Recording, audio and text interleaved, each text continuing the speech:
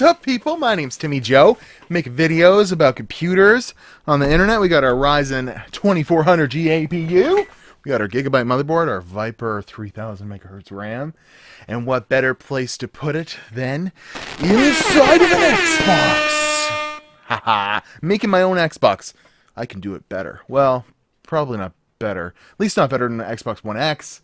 But I'd be hoping that this is at least as good as an Xbox One, like the regular old version. So, yeah, here we are. I have, you just saw me shove all the technology of a PC with 4 cores, 8 threads, Vega graphics, and, uh, you know, a few other goodies into the skin of an Xbox. And hell, I kept all the functionality of a few things, and I didn't even, you know, it doesn't even have an external power brick, which is an advantage over this original, you know, version. Things are getting tiny, and I thought, what could we do, you know? I was looking at all the SFX and, you know, the uh, ITX cases that are out there, and it all kind of bored me. It's kind of a, you know, a thing that uh, manufacturers have been avoiding, or not really, except for Silverstone and, uh, you know, Inwin, a few of those guys. No one's been making cool small form factor cases, uh, you know, except for a few niche markets, and figured, hell, I'll make my own. So here we are, after uh, you know at least three days worth of tinkering, you know, buying parts, you know, opening things up, making things happen.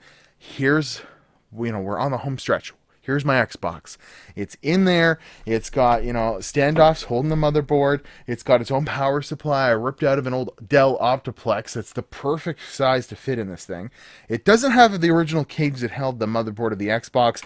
And we're down to one fan, the CPU fan, the AMD Wraith cooler, the uh, Wraith Spire that came with my Ryzen 7 1700. And we, heck, we even maintained the uh, Xbox's um, hard drive holder, and I put two of them in there a uh, 120 gig SSD and a 500 gig uh, games drive and they're both wired in the original compartment and they're gonna just plop right in there. And then all the uh, original buttons you know the button here is gonna work. There's an uh, front mounted USB there's uh, you know no CD-ROM because who needs a CD-ROM these days? But I uh, hot snotted the wireless transceiver for the uh, the wireless on here right in the front there so we're gonna have some good wireless reception and it's not gonna have any like antennas sticking out.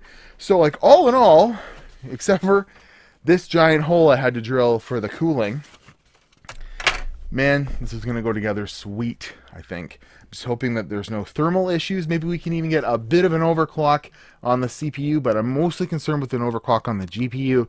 Once we get that all going and we, you know, have the Wraith lit up, because this is the LED version with the RGB built into it, uh, I think this is just going to look so freaking snazzy that I made my own Xbox. I mean, who's who's doing that? Like I've seen people do this, put uh, you know an ITX motherboard inside of an Xbox before, but never with this kind of power because this kind of power just wasn't available before unless you put a dedicated graphics card in it. And I think that would be an entirely different sort of uh, video or feat to accomplish that. But with the onboard APU here, I'm assuming we're going to be able to play some pretty sweet uh, video games, and heck, maybe even at one point I'll get an Xbox One. I don't think the uh, the newer Xbox One X or whatever, the 4K version, would stand a candle to this thing. Like I think pretty sure it would kick the pants off of it. But you know, this versus the original Xbox One, I think that there's something to be uh, you know said there, and we should do a little comparison video. But I think we need to go ahead and get this thing completed because I've I got days into it and I just can't wait to see it on underneath my TV stand. And you know that was the goal was to put it on my TV stand and have what, what's basically an appliance that's been under TV stands for years. No one's going to look twice at it. And then you know when they go hey let's play some Xbox I'm going to say no sir. Let's play some Steam games. And you know I've got Xbox controllers we can plug into this thing. It's going to be a good old time. So let's get this thing rolling and we will put all of the panels back on, make sure they fit, and then we'll do a little bit of load testing and see if the one cooling solution on this thing is good enough and uh, make sure everything works. But I'm anticipating quite an awesome result. So cue it up, Timmy Joe. Romper Stomper, Bumper Boom, tell me, tell me. I see Alex, I see Gene, I see Jimmy, I see Rhonda.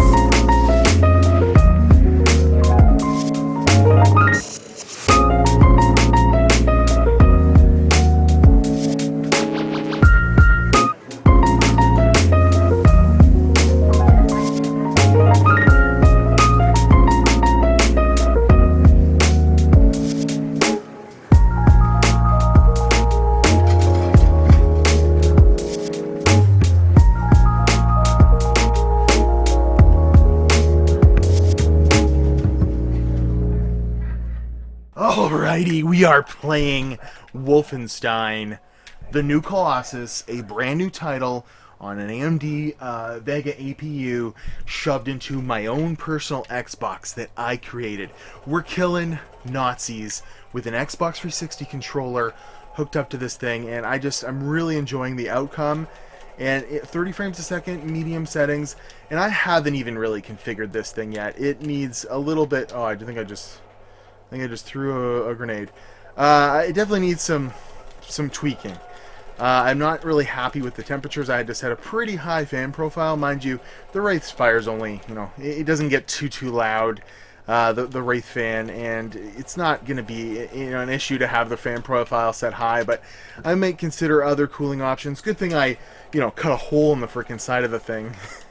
uh, but, you know what, it, it's pretty playable with this game at medium settings 1080p like it looks really good. There's barely any frame dips or anything. I'm I'm not very good at this game while playing it on a controller right now but we're not doing too bad. So let's kill the Nazis and then we'll we'll sum this up with I'm gonna need to do a follow-up video with uh, you know what I, I, kind of expected out of this and how it turned out. And I'm gonna have to kill all the Nazis and then get back to you guys. But I really enjoy this little console that I've created. It is super awesome. You get access to your Steam library. You're going to play most games, you know, even if you have to put the, you know, settings on low.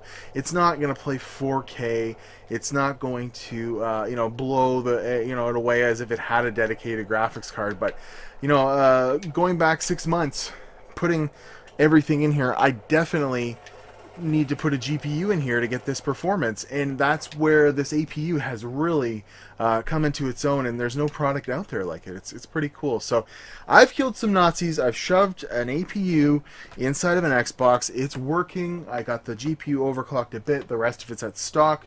The memory's at 3200 or uh, sorry the memory is at 3000 right now. I just happen to set it because that's what the, the profile of the memory is. But once I get this all tweaked up and we you know do a little bit of configuring maybe I come up with uh, you know another cooling solution for this. Maybe I'll even delid it. I think delidding it might be the option but uh, or, or might be the answer to getting the temperatures down you know just enough to really get a good overclock on the the Spire. But we'll have to see. But uh, in the end like look at it's an Xbox. There's you know a, a HDMI in the front to put your uh, controller, and uh, it's really sturdy. It's clipped all together with the original clips. It's it's you know fairly light. The hard drives are in this hard drive tray, and uh, there's some RGB lighting even. So I'm I'm just super impressed with this. Like I don't know if you guys want to see more projects like this, I'm down to put like uh, I don't know a GTX 1080 Ti inside of a ColecoVision if that's what you guys want to see. But I'm at Watch Timmy Joe, Instagram and Twitter, and uh, I'm just I'm super happy about killing zombies on my Xbox that I made. Okay, and uh, you know if you guys want to support me on Patreon, that'll help more stuff like this happen uh, Timmy Joe uh, on Patreon, patreon.com slash Timmy Joe. I also uh, would love to accept some uh, cool old hardware if you have any. Me at Timmy Joe, give me an email.